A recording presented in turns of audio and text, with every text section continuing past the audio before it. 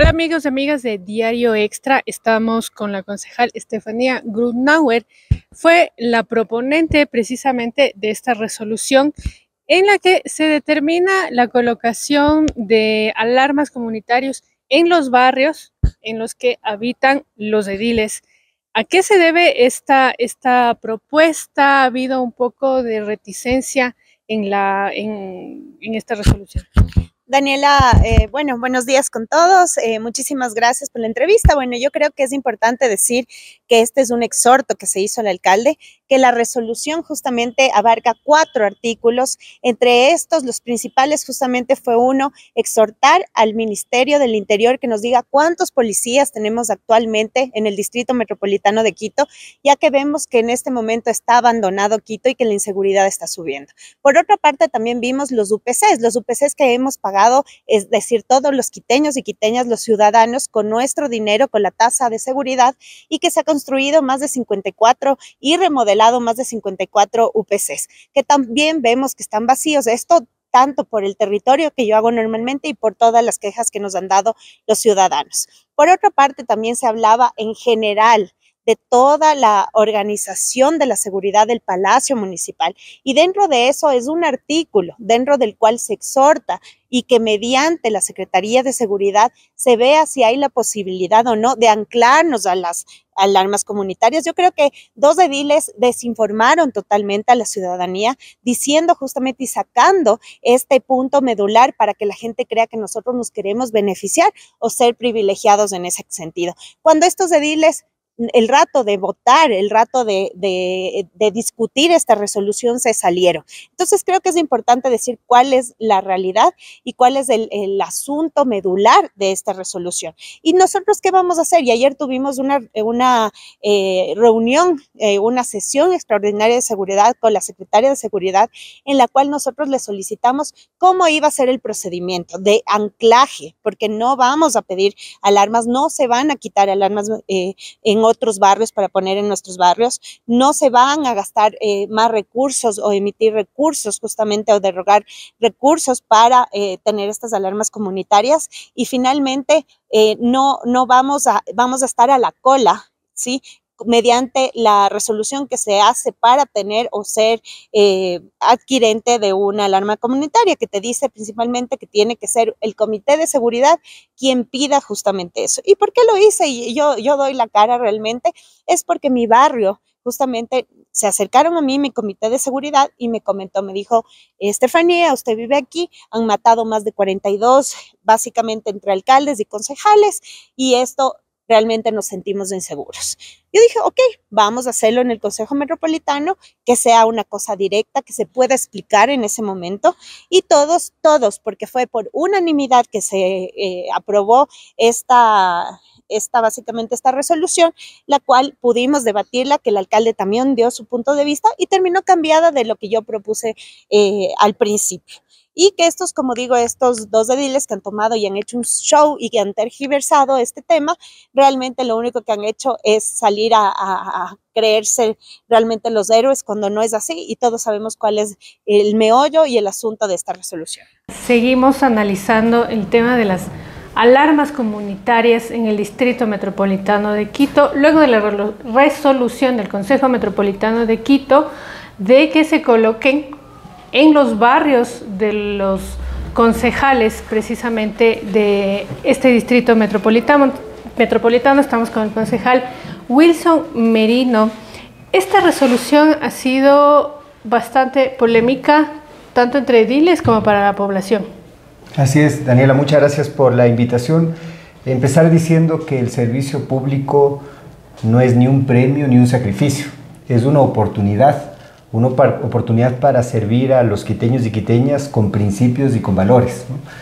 Eh, creo que esa idea fuerza hay que tenerla muy clara, ¿no? porque no se trata de llegar a espacios institucionales para beneficiarnos nosotros en detrimento de las grandes mayorías, sino siempre pensar en la gente, siempre ponernos en los zapatos del otro, siempre ser empáticos con lo que los otros están sintiendo. Comprendemos que hay una crisis de inseguridad muy aguda, muy compleja, que azota al Ecuador. Eh, Quito no está exento de aquello, pero somos nosotros como autoridades los que tenemos que dar el ejemplo y tomar acción pensando siempre en las personas más vulnerables. La política pública tiene que construirse bajo principios de equidad y justicia social. Eh, por eso es que nosotros hemos cuestionado tanto una ordenanza que plantea dos clases de barrios en el Distrito Metropolitano de Quito. Los barrios donde vive el alcalde y los concejales, que contarán a partir de ayer con más recursos para enfrentar la inseguridad, y el resto de barrios. Los barrios de los quiteños y quiteñas, el barrio de María, de Juan, de Pepe, de Luis, que tienen sus hijos, que tiene su madre con discapacidad, ¿no? la gente que ve con preocupación eh, cómo día a día les van robando los sueños eh, y les van afectando en su cotidianidad. Ahora, em, tomando, tomando en cuenta las cifras, los datos de cometimiento de delitos, los sectores en donde viven más o menos los ediles, ¿Concuerdan con los barrios más uh, conflictivos? Bueno, primero eh, asentar que la Secretaría de Seguridad no presentó un informe técnico que sustente la resolución que aprobó el Consejo Metropolitano. ¿no? Eh, si por casualidad, en función de un mapa de riesgos, los barrios donde viven los concejales coincidiría con altas tasas de mortalidad, muertes violentas, podríamos tener un, argumento. Pero es todo lo contrario. Nosotros hemos tenido acceso a información de la Policía Nacional del mes de mayo. Las muertes violentas en el DMQ desde el primero de mayo hasta el 19 de mayo suman 67. Tenemos 55 homicidios, 10 asesinatos, 2 femicidios. En función de territorios, los distritos donde más se concentran las muertes violentas son La Delicia 20, Eloy Alfaro 11, Manuela Sáenz 10 y Quitumbe 9. Los distritos donde tenemos menos muertes violentas son Eugenio Espejo, Tumbaco, Calderón y Los Chillos. En donde existen menos muertes violentas es donde viven la mayoría de los concejales. Este es otro de los grandes argumentos que nos hace cuestionar el trabajo técnico de la Secretaría de Seguridad. Eh, y es muy triste que le dejen al alcalde solo.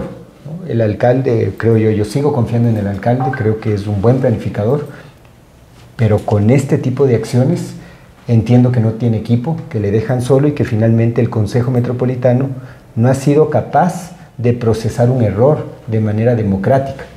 Nosotros la semana pasada, eh, como Consejo Metropolitano, conocimos esta resolución.